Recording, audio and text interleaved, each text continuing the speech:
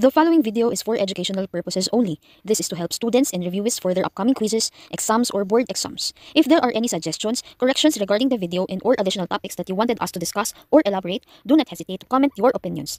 Thank you and enjoy watching.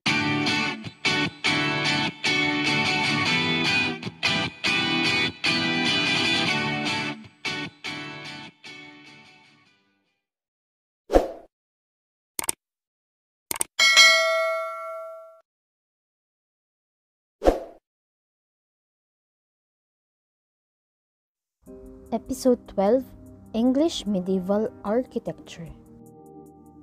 Development of English Medieval Architecture Periods. Number 1 Pre Roman It is relating to the period before the founding of ancient Rome. 2 Roman. 3 Anglo Saxon period. It is characterized by the use of timber for domestic building.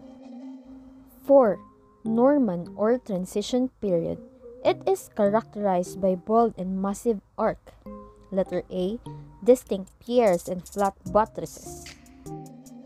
Number 5, early English or lancet period. It is less massive and uses simple ornament. These are the distinct features. It is tall and narrow, which is the lancet openings projecting buttresses, pinnacles, and steep pitch roofs. Group of slender shafts at the interior. Number 6. Decorated or geometrical curvilinear period.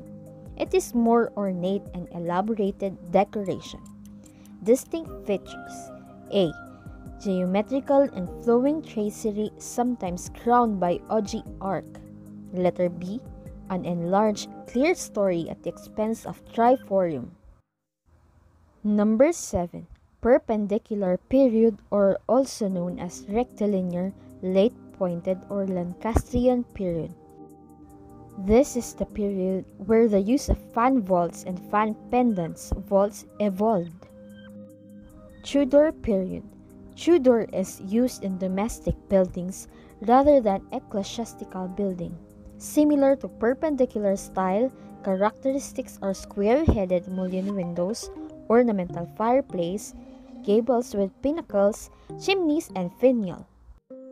Example of buildings are the castle, where the king and queen's residence, fortress in the time of war. The picture on the right side is showing the typical parts of a castle.